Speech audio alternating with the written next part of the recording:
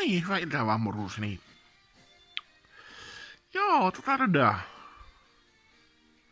Mä mietin, että nyt en vähän aikaa ainakaan talven aikana homma autoa itselleni. Tota, ei jaksa näitten kanssa enää pelleillä. Sellainen olo on nyt teenne.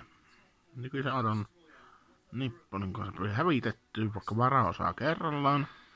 Niin tota, tota se sopii lähteä sitten jää poikkeen.